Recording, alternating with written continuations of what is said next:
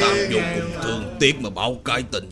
Do ăn nhậu và gái gú quá nhiều Minh chủ VL đã qua đời. Hưởng dương đúng 21 tuổi. Đây là bất di thư mà minh chủ để lại. Toàn bộ tài sản sẽ được sung vào quỹ từ thiện võ lâm. Chùa của ta sẽ quản lý. Còn về chức vụ minh chủ Xin giao lại cho đại hiệp công bố.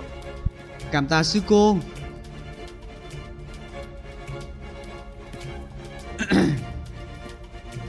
Tại hạ lệnh Hồ Sung Xin được phép công bố danh sách bầu chọn minh chủ mới. Ban chủ cái bán báo cơ phong mã số 01 Giáo chủ Minh Giáo Trương Vô Kỷ mã số 02 Và thiếu niên anh hùng Dương Quả mã số 03 Tham gia bình chọn để có thể trúng iPhone nữa nha. Xin lỗi ta đến hơi trễ. Đã công bố danh sách minh chủ rồi sao? Mau đưa cho xem di thư Nếu không ai giữ nó sẽ chết đó. Di thư ta đang giữ trên tay này Nhưng nếu các hạt nó như rửa Ta đã giữ bên cái chí nữa. Trả hết này Cầm chí cho bị giết. Cho sổ giết Đoàn kết vãi thật.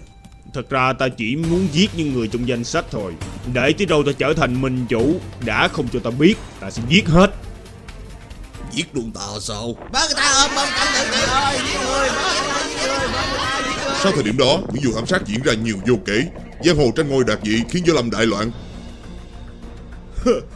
Sẽ còn bao nhiêu người phải chết nữa đây? Chẳng lẽ ta phải ngồi đây chờ chết vậy sao? Không được Nhanh lên Mau triệu tập đại hội võ lâm. Ê happy new year Con thị bác sĩ Con thị bác sĩ Con thị Con thị à Con thị à. À xin chào xin chào Quá đẹp đã lâu thất lễ. Vô làm về chai trước nha.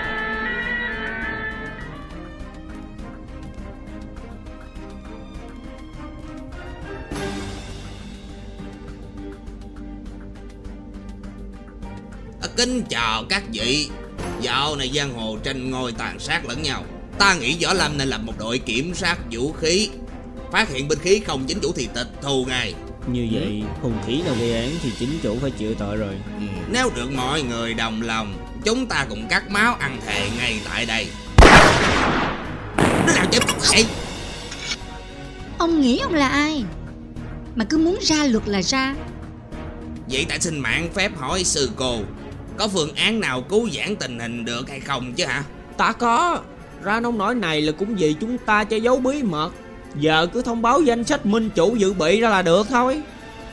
Thiệt là không có nghĩa khí chút nào Nhưng dù gì anh thích cách suy nghĩ của chú rồi đó Ta cũng đồng ý với đạo sĩ thúi, phải tự mình cứu mình thôi.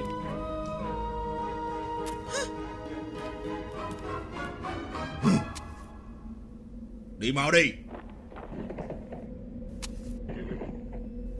Cà ma ơi, Cà mì ơi Cà phong về buông rồi nè Cà ma ơi, Cà mì ơi Cà ma ơi, Cà mì ơi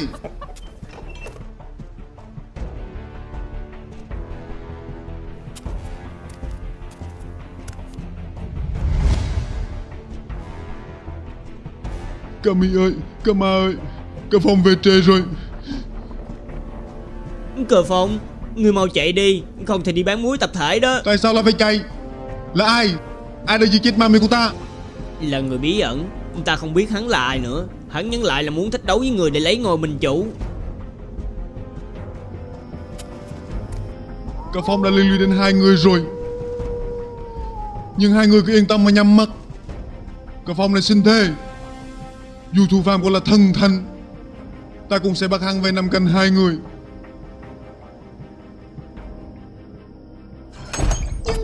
Người ra đây.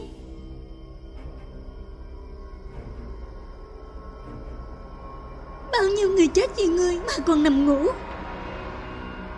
Coi như người xui đi Đừng trách ta độc ác nha.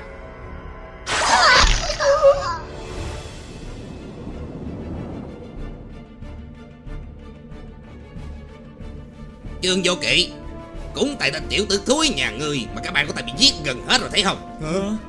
Đúng là vậy. Nếu người muốn vô lâm này được yên bình thì phải hy sinh đi. Có chắc ta hy sinh thì sẽ không còn ai bị giết không? Có chắc hay không thì người cũng phải chết. Nếu không còn ta thì ai sẽ là minh chủ đây? Ê có chừng kìa. Có người bắn tỉa Trời ơi có người bắn tỉa. Trời ơi giáo chủ Giáo chủ Giáo chủ Kêu xe cấp cứu nhanh lên. Trời ơi kêu xe cấp cứu.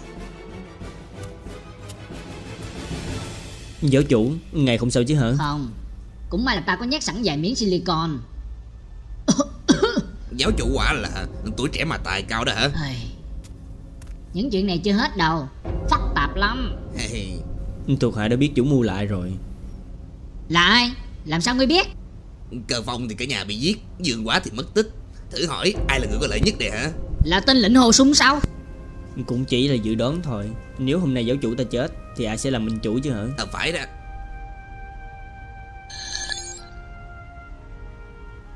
Đón xem tập 2 tại facebook.com Xuyệt Võ Lâm Độc Tôn.